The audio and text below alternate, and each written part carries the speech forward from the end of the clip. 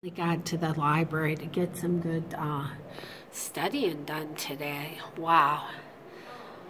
Nice study rooms up here. Oh, I think they assigned me to room 570.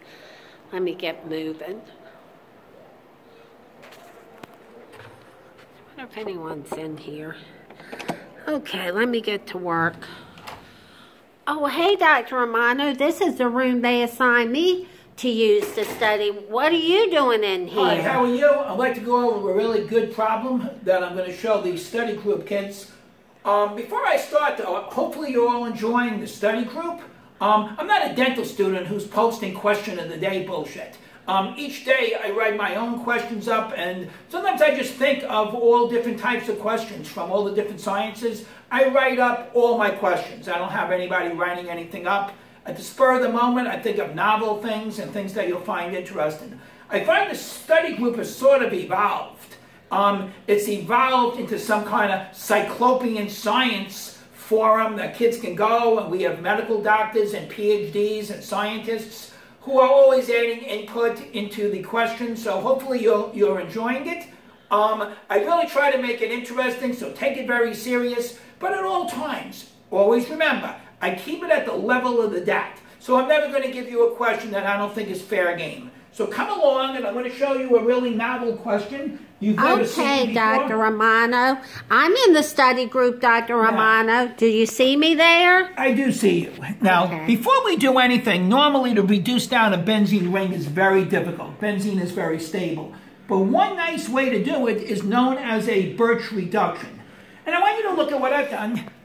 I'm going to take benzene and I'm going to treat it with sodium and ammonia and ethanol. And what it does, it gives you a diene, but it's not conjugated. It's an isolated diene. So notice how we reduce one of the double bonds down. It's a radical mechanism, which we don't need to get into. But you, you get the result of a diene, but it's an isolated diene, meaning it's not conjugated here. Now, what I do, once I get this, I can just reduce it down normally, say 2 moles of hydrogen and platinum, and that shows how I can go from benzene into cyclohexane. Now, you had to know the Birch reduction to understand this problem, and it's not a most commonly asked question, the Birch, but I think you're going to find this interesting. So let's do an example in which I'm going to brominate naphthalene. So what I did is I simply brominate, and whenever you have naphthalene, there's two types of products you can get. You can either go to the one position or the two position. All these positions are equivalent.